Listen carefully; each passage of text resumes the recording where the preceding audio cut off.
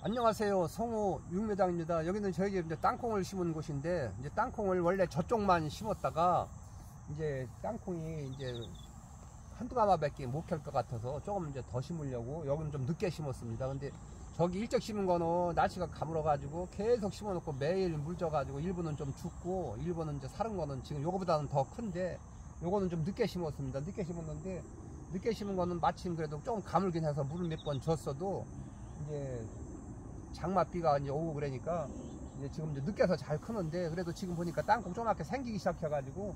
뭐 지금이 7월 달이니까 오늘이 7월 21일이니까 뭐 7월 달도 아직 많이 남았고 8월 달 이제 9월 달인데 일찍 심으신 분들은 이제 9월 중순이면 이제 수확을 하는데 요거는 조금 더 늦게 한 이제 9월 말경에 이제 수확을 하면 되겠습니다. 그래서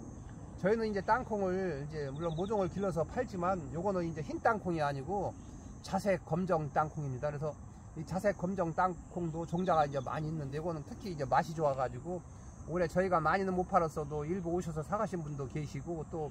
이제 작년에 심어 보시고 너무 맛있어가지고 또 오신 분들이 몇 분 계십니다. 그래서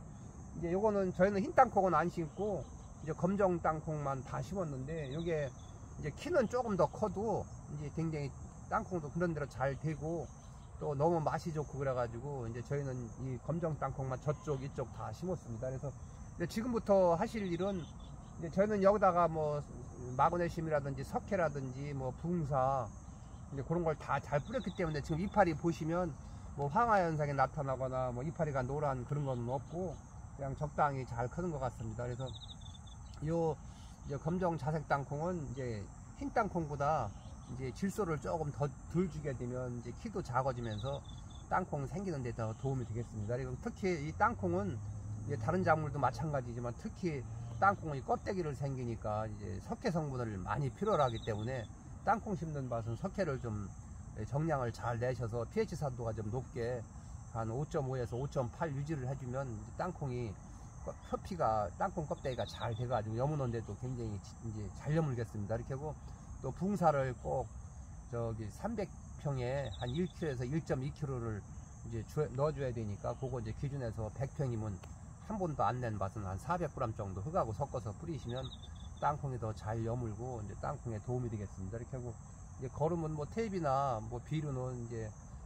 그 너무 이제 땅을 부셔가지고 이제 거름기가 있는지 없는지 뭐, 뭐 어떤 작물을 심었는지 그런 거 판단을 잘 하셔가지고 내시면 이제 되겠습니다. 그래서 이 땅, 땅콩은 이제 지금부터 이제 할 일이 이제 땅콩이 이제 많이 커서 이제 이 통통이 덜 되고 이제 키도 커지고 막 이러니까 이제는 날씨가 막 계속 흐리고 비가 많이 오게 되면은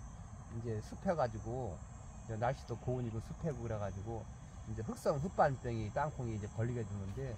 이 그렇게 걸리기 전에 뭐 카브리오라든지 아니면 살균제를 주시면 이 땅콩이 이제 그 이파리가 여기 꺼멓게 이제 마르는 것도 이제 방지가 되어집니다. 땅콩 이파리가 좋아야지 이파리가 다 검정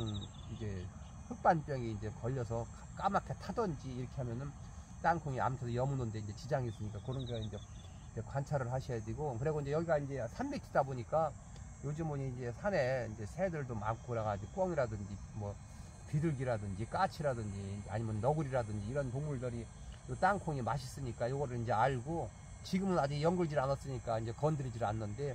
8월 한 20일경만 되면 앞으로 이제 기르면 한달 짧으면 25일만 있으면 얘들이 땅콩이 이제 생겨서 어느 정도 이제 반염을 들었으니까 요거를 캐먹으려고 여기 와가지고 요 비닐을 다 찢고 땅콩을 다 아주 하나하나 다 흩쳐가면서 아주 싹 먹게 되면 이리가는 밥 같은 거 이런 거 막 10마리 20마리가 날라와가지고 소, 이, 이, 파먹기 시작하면 땅콩 별로 캘 것도 없이 다 고생만 하고 버리게 됩니다. 그래서 저도 이제 지금은 아직 안 건드렸는데 앞으로 이제 한 보름이나 20일 후에는 이제 밭에 와서 자꾸 이제 관찰을 하고 여기다 이제 망을 써야 됩니다. 그래서 이 망도 이제 뭐 변할 때 이제 까만 망도 있고 있는데 가능하면은 요 땅콩 한 번만 심으실 거 아니고 이제 몇해 계속 심으시려면 요, 요 심는 면적에 따라서 이제 그 텐트나 이제 그렇게 이제 파는 데 가셔가지고 이제 그 망을 이제 거칠은 게 있으면 굉장히 좋으니까 저도 올해 맞추려고 합니다. 그래서 이 변할 때는 이제 벼 안색에 좀 총총 이제 까만 망을 떠서 그거를 널고 이제 벼를 넣는데 그것도 이제 덮으셔도 되는데 그건 너무 총총해 가지고 제가 이제 그 천막집 같은 데 가서 이제 물어보고 이제 조금 더 거칠게 이렇게 만들 수 있는 거를 맞춰가지고 여기 이제 넓이가 이게 지금 제가 볼 때는 한 7, 8m 정도 넓이만 만들어 오면은 그냥 여기서 쭉 펴가지고 양쪽에 흙을 누르든지 비닐을 꽂든지 아니면 뭐 돌로 눌러서 딱 해놓으면 철사를 안 꽂아도 이제 망이 좀 거칠면은 이제 새들이 여기 와서 뭐 그 망을 뚫고 들어갈 수가 없으니까 이제 소, 저 미리 파먹기 전에 싹 덮어놓으면은 이제 그 새들한테 뭐 그 너구리라든지 까치 피해 없이 이제 수확을 잘 할 수가 있습니다. 그래서 원래 이 땅콩도 이제 한번 심어 보시고 수확할 때 땅 속에 굼빙이가 있나 지링이가 있나 뭐 개박구지 이런 것들이 뭐 다 피해를 주기 때문에 이제 그런 거 있는 밭은 원래 살충제 입제를 이제 뿌려야 되는데 저는 살충제 입제는 뿌리지 않았습니다. 그래서 이제 그런 거 살충제 입제를 안 뿌리게 되면 아무래도 이제 뭐 개박구지하고 굼빙이하고 막 이런 것들이 땅콩 이제 많이 이제 파먹고 막 그렇게 해서 이제 피해는 많이 보는데 예, 그냥 저는 넣지는 않았습니다. 그래서 이제 수확 시기는 보통 이제 빨리 심으신 분들 4월 말이나 5월 초에 심으신 분들은 9월 한 중순경이면 이제 수확을 하시게 됩니다. 근데 그 수확하시기 전에 땅콩을 밭에 잘 관찰을 하셔가지고 이 수확 시기가 굉장히 중요합니다. 너무 늦게 수확을 하게 되면 땅콩이 발에 가서 붙지 않고 다 떨어져가지고 곰팡이도 많이 생긴 게 있고 썩는 것도 많이 있고 그러니까 요거 딱 뽑아보셔가지고 적당히 여물고 떨어지는 게 별로 없을 때 수확을 하시게 되면 나중에 주느라고 고생도 안 하고 이제 여러 가지 좋은 점이 많이 있으니까 그때 수확을 잘 하셔야 됩니다. 너무 늦게 수확을 하게 되면 썩는 게 많고 곰팡이 돼서 썩는 것도 있고 또 뒤떨어져 가지고 흙속에 묻혀 가지고 주, 주술라면 또 어렵고 그러니까 그런 거 판단 내리셔서 수확을 하시면 되겠습니다. 그래서 수확은 요거 한 달씩 바지타 쪽 깔아놓는데 바지타 깔아놓을 때는 도로 또 깔고 덮어야 되고 만약에 하우스가 있으시거나 아니면 하우스가 없으시면 그냥 집으로 가져가셔서 빨리 그냥 따가지고 그냥 닦아서 이제 넣으시면 되겠습니다. 그래서 그냥 말리시게 되면 아무래도 땅콩에 흙이 다 묻었으니까 큰 다라에다 따가지고 넣어가지고 대행이로다 슬슬 문지르게 되면 아주 깨끗하게 아주 그냥 땅콩이 좋습니다. 그러면